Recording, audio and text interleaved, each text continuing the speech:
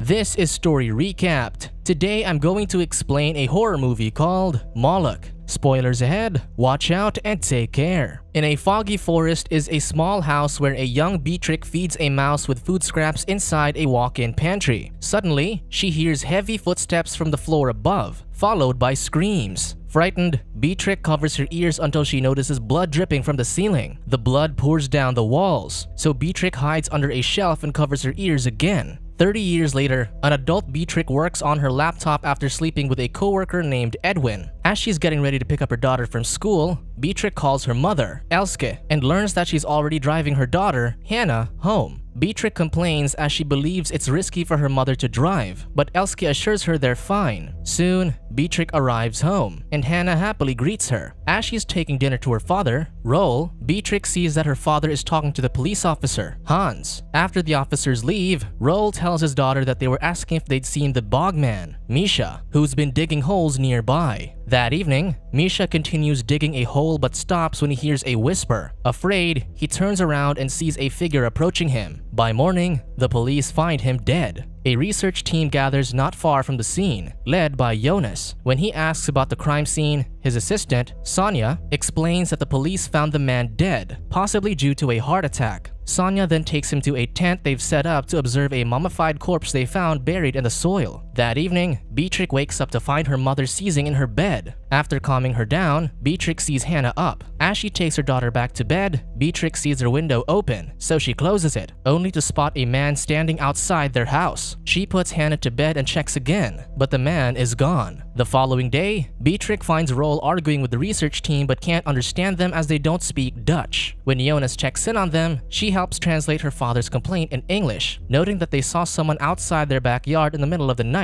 They assume the man is part of their team, so Roel threatens the research team from stepping into their property again. Later, Beatrix takes her mother to the doctor, who thinks that Elske's condition might be due to unprocessed trauma, so she suggests undergoing therapy. Elske isn't happy about this, but Beatrix is open to it. When they arrive home, they find Roel showing Hannah the cameras he set up outside the house, which would take photos if it detects movements like a trespasser. At night, Beatrix is recording herself playing the violin when Elske knocks on her door to assure her that she's fine. She knows that her mother just doesn't like the idea of therapy, but Beatrix says okay nonetheless. Wanting to relax, Beatrix goes to the pub where she meets Jonas for drinks. She rants about her mother's habits, including collecting sugar packets from restaurants and serving them to guests. During this, she notices her other co-workers drinking at another table, including Edwin, who awkwardly just nods to her. On the way home, Beatrix recounts how she and her late husband, Neil, used to be in a band, and they brought Hannah along during tours. However, Neil suddenly died of a heart attack, so she ended up back in town. She shares that people in the neighborhood think their family is cursed. Besides her husband dying, her grandmother was also killed when she was young, and the killer was never found. After her death, Rose started drinking while Elske started having her mysterious illness that the doctors still can't figure out. One day, Beatrix helps students prepare for the town's annual celebration, while Edwin directs the stage play. After the practice, Edwin invites her to his apartment again, but she decides to end their relationship. As Beatrix puts Hannah to bed that evening, the girl asks for bedtime stories. She adds that she wants her mother to keep reading her to sleep forever, even when she's older. Beatrix smiles at the thought. Afterward, Beatrix finds Roel outside, watching their backyard for intruders. She advises him to go back inside as it's freezing, but he insists. Beatrix returns to the house and, to her surprise, finds the same man from before in their kitchen. Radu apologizes to her as he drank some of their milk. Seeing a knife next to him, Beatrix slowly backs away then goes to Elske. However, Radu approaches them, crying. The two slowly go up their stairs as the man keeps apologizing, saying that someone is making him do this. He suddenly grabs Elske and pulls her down. He then wields his knife, but Beatrix slams his hand against the railings to make him let go. Before the women can crawl back up, Radu screams, making them freeze in horror. The sound wakes Hannah, so Beatrix quickly carries her daughter away while Elske takes the knife and threatens the man with it. Radu, however, forces her hands to direct the knife onto herself. Forcing her mouth open, the man pushes the knife inside until Roel hits him over the head. The police soon take Radu away while the family recuperates. The next day, Jonas visits them, and Elske serves him a bowl of sugar packets from different restaurants, like what Beatrix said. He admits that Radu was part of his team, though he'd known him to be non-violent. Remembering her grandmother's death, Beatrix asks Jonas how old Radu is, confirming that he'd been a teenager the day she was killed. Seeing her daughter still frightened about it, Beatrix asks Jonas to talk privately. In her room, she breaks down, so Jonas comforts her. Hearing their daughter's cries, Roel says she is back, so they should leave. But Elske claims he's going crazy again. As she's cleaning up, Elske suddenly collapses, so she's taken to the hospital, where she gets an MRI scan. During the scan, however, Elske presses the panic button, so they take her out immediately. Elske refuses more procedures, and Beatrix agrees since she keeps pressing the panic button before they can get a proper scan. While getting into their car, Beatrix notices one of Jonas' team members, Leonard, heading to the hospital. Curious, Beatrix follows him and finds him and Jonas visiting Radu, who's in intensive care. She sees Radu's son hugging his unconscious body, but the child suddenly turns to Beatrix as if sensing her presence there. Terrified, Beatrix leaves, but the boy follows her into the elevator. There, the boy suddenly repeats a foreign phrase and holds out his hand. Beatrix touches his hand, and the elevator suddenly loses power. While the emergency lights flicker, the boy starts muttering something that echoes. With a gasp, he snaps out of it and looks behind Beatrix. When the woman looks at the reflection in front of her, she sees something wispy behind her. Slowly, Beatrix moves to the side to get a better look and realizes that the wisps are hair strands of a gaunt ghost behind her. Beatrix turns in shock, only for the ghost to disappear and the lights to return. The elevator finally opens, and the boy cries in the corner. Confused, Beatrix simply leaves and returns to her car. Quickly, Beatrix checks a translation app on her phone, discovering that what the boy said means she never died. Before she could process this, Beatrix sees Jonas and Leonard heading to their car, so she goes up to them. She asks if they discovered why Radu attacked them, but Jonas answers that Radu hasn't woken up yet. However, at their camp, the others shared that Radu was digging alone, away from the site. The next day, Beatrix meets with Jonas at the bar, as she requested. From there, she points him to Misha's father, Ton, explaining that her son died after digging something up. She then urges Jonas to tell her what they're researching at the bog, so he shares that they found a woman's mummified body. Hearing this, she moves to speak to Ton, who recounts that his son somehow knew where to dig in the bog, as Misha was the one who first discovered the mummified body. Ton shares that men in his family are always sensitive to supernatural things, but Misha was special. Beatrix asks if someone told him where to dig, so Ton mentions the mythical Helen's Whispers, which talks about the legend of Feka. As they're driving back, Jonas asks who Helen is, so Beatrix shares that she's a story to scare kids from playing in the bog. She hates the story since her father claimed to have heard Helen's whispers near their home. Jonas finds it ridiculous, so she changes the topic and asks about the mummified woman. He refuses to say more to avoid getting her paranoid, but Beatrix points out that Radu attacked her family, so he shouldn't treat her like she's crazy. Jonas defends that her trauma might alter her perception, but Beatrix is offended and abruptly leaves his car. Worried, Jonas follows her, but a drunk Beatrix runs away. She laughs as he chases her, but when he catches up,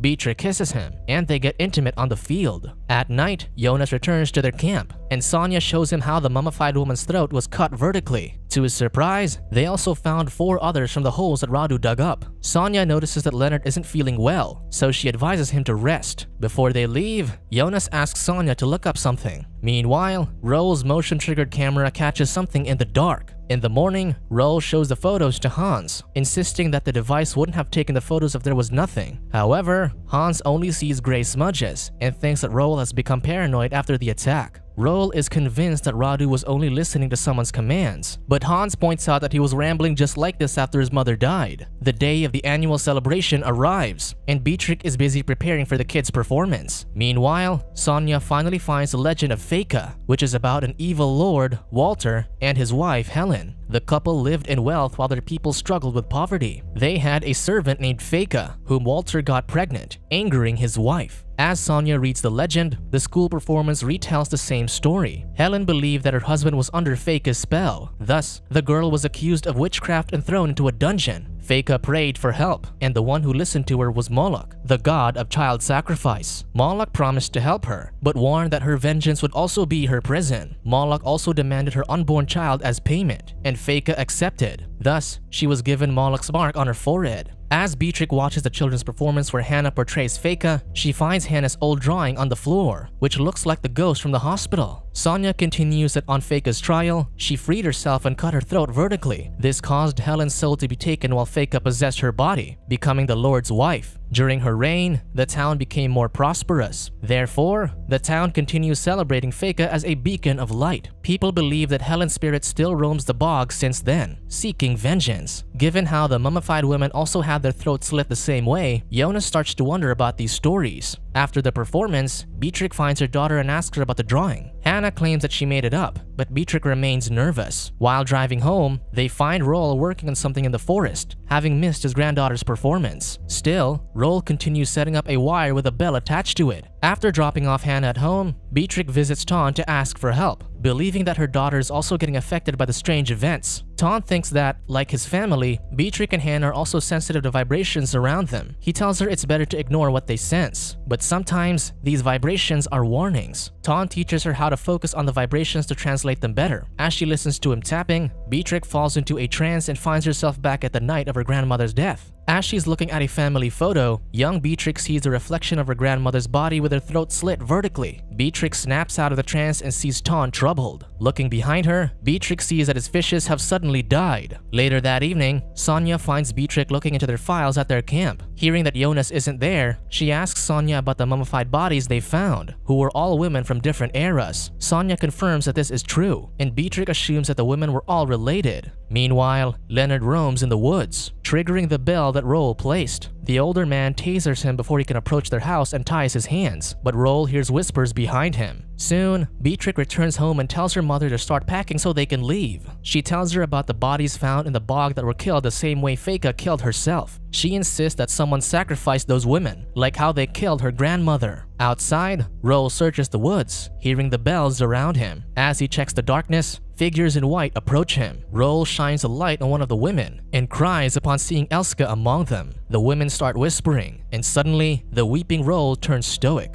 At the town parade, Sonia tells Jonas how Beatrix went to their camp. She shares that Beatrix said her family is in danger, making them wonder if someone is still sacrificing for Moloch. Just then, a group of masked people carries an effigy of Feka through the parade. Worried, Jonas leaves. Later, Beatrix and Elske find her father standing at their door with wide eyes. Afraid, Beatrix shields Hannah as Roel breaks the glass door to unlock it. Quickly, she removes the keys to prevent him from unlocking it, but they remember that the back door is open. While Elske checks the back door, Beatrix hides Hannah in the walk-in pantry. Suddenly, Roel crashes through the front door and grabs his wife. As he's about to stab her, Beatrix stops him but gets knocked down. Losing his knife, Roel chokes Elske instead. He screams, and the women in white around their house scream with him. Finally, Beatrix knocks her father out with a fire poker. When she checks, however, Elske is gone. Beatrix looks for her mother, but soon, Roel wakes up to Beatrix's gasp. He gets up and heads upstairs to see his daughter unconscious. Suddenly, Elske appears and puts a noose around his neck. Struggling through the rope, Roel sees his wife with white eyes just before he slips off the stairs. Meanwhile, Jonas navigates through the woods towards Beatrix's house when his foot gets caught in a bear trap. Soon, people with masks enter the house while Hannah hides. Beatrix wakes up, bound and gagged on the bed. To her surprise, her mother's at the foot of the bed, surrounded by masked people. Elske assures her not to worry, as she picks up a razor and slits her own throat. Beatrix's cries are muffled as she watches her mother bleed out on the floor. Suddenly, the candles around them are snuffed out. A hand grabs the bed, and Feka emerges with her marked forehead.